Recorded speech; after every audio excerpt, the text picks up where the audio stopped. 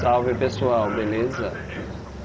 Trazendo esse vídeo aqui de Fallout 76 para mostrar para vocês como concluir um desafio diário. Então pede que a gente use o modo foto no camp de um colega de equipe. Então a primeira coisa que a gente vai fazer é apertar touchpad R1 e a gente vai entrar na equipe.